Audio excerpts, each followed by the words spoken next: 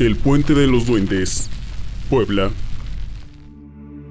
En Puebla hay una leyenda sobre el Puente de los Duendes. Este relato hace mención a un hombre que en la Sierra de Puebla iba mucho por aquel lugar. Los lugareños dicen que unos duendes arrastran a la gente hacia la parte baja del puente, aunque no se sabe para qué, puesto que ningún mortal ha regresado de allí y cuando se le busca no hay rastros. Este hombre regresaba de una fiesta en el pueblo y para variar había tomado demasiado.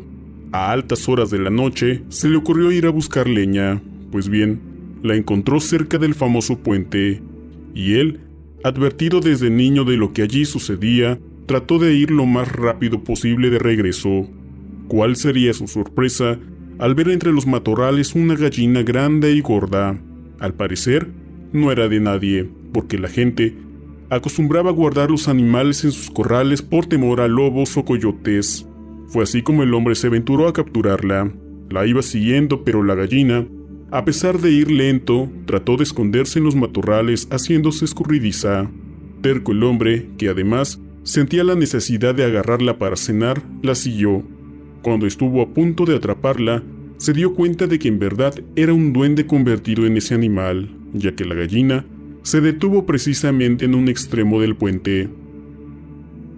A pesar del susto y de la intención de correr, inexplicablemente, el hombre fue arrastrado hacia adentro con engaño. Debajo de aquel puente se encontraba la gallina que él había perseguido, pero la pobre estaba siendo mutilada por duendes que reían mientras veían cómo se acercaba.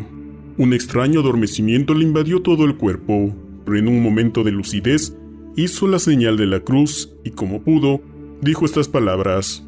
Padre nuestro, si mi carne es para los demonios, al menos deja que mi alma esté contigo en el paraíso. Tras lo cual, se oyeron gritos lastimeros desde adentro del puente. La gallina se transformó en un hombrecito de menos de un metro y los otros duendes le advirtieron al hombre que huyera y que jamás contara lo sucedido, porque en otra ocasión no tendrían compasión con él.